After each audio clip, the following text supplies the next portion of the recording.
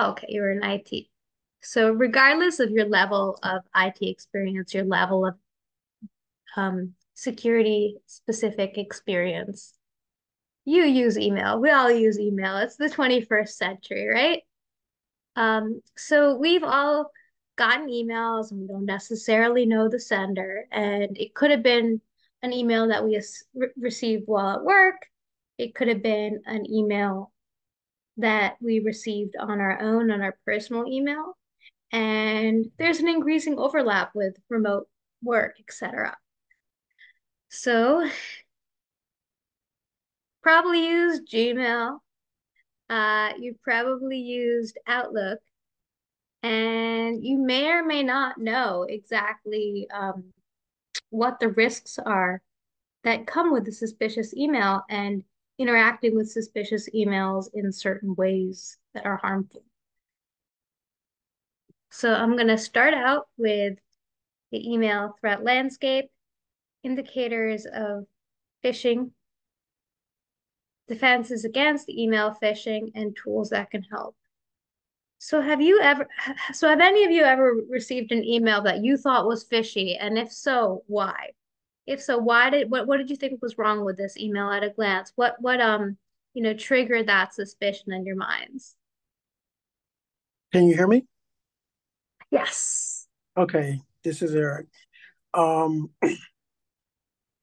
for me, um, with my company, we get external emails and we do have tests in which we are sent phishing emails, and they want to see if we can um, um, identify if it is a phishing email or from a, a trustworthy source. And I've noticed that all of our emails come with the um, with the um, um, what the the signature. So if the signature is missing, if it's um, a name that does not register in, in the uh, email system, then I usually mark it as phishing. Good. Or you can look for misspelled words. Um, I, I don't open attachments at all. Um, but generally, it's it's one of those things where if if it's somebody's name, I'll do a search on the name to see if that name populates in the uh, in the email um, check name list, and if it doesn't, then I say okay. Then chances are it's phishing. So that's how I guess to to be safe and cautious. Right. Good call. Good call. Unknown senders are already a red flag, and awareness training platforms of any sort should spread awareness around that specifically. I also see in the chat something about grammar suspiciously bad. Yeah, I mean, especially in a professional setting, if you're receiving an email that you know that has a lot of spelling or, or grammar mistakes, then odds are it's not from somebody so professional, right? It's not from somebody who's doing what they're supposed to be doing with respect to the organization or you as an individual as well. So that that's automatically a red flag. This is already good thinking, already good thinking in this group. So I'm glad to hear that. Great. So yeah, I mean, as as um we had already begun to discuss, this is just one example that I screenshot and did not open from my email. Um, and if we go through this line by line, and again, this is just the email subject, what what is what are some wordings and some language in this email subject that might make you suspicious? Um, go word by word. I already highlighted one, a little bit of a sneak peek. Anyone can chime in if you want.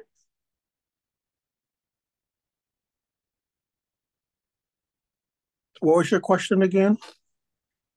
So already what like in, in this um you can all see my screen, right? Mm-hmm. Okay, great. So in this screenshotted email subject, what are some red flags? What are some indicators that should, you know, make us be a little bit suspicious and have our guard up?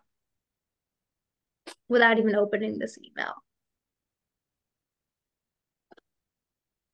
If you don't know, that's fine. Yes, mm-hmm. free, free, happening now.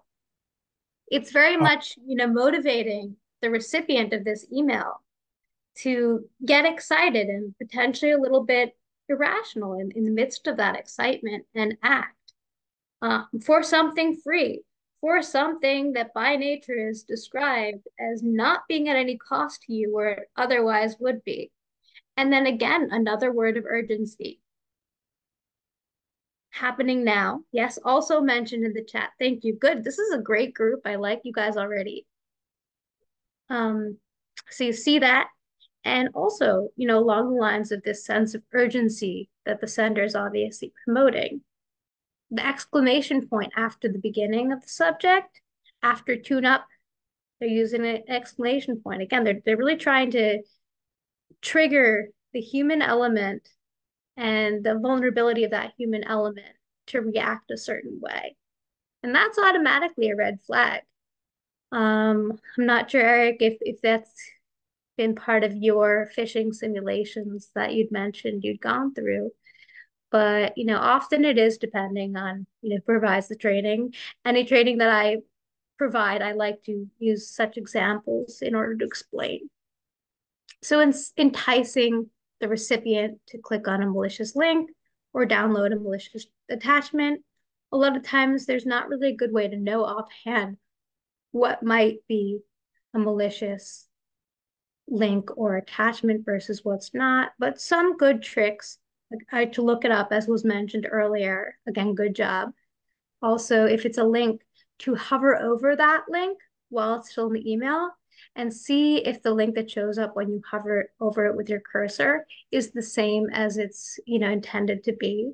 Also, you know, for example, if it is if the domain, which is essentially the main chunk of a URL for those of you who aren't familiar with the technical um, terminology, if you look up that domain, um, you know, minus the dot com dot org, which is called uh, TLD, by the way, um, looking that up on a Google search um, or, you know, the browser resource of your choice, to look into what businesses might be out there with that name, for example, and see if it matches up to that domain, see if they really exist and if they look legitimate, and if it is someone who should indeed be reaching out to you, uh, given your role within the organization, giving, you know, given the types of messages that you're expected to receive to carry out your daily business functionalities.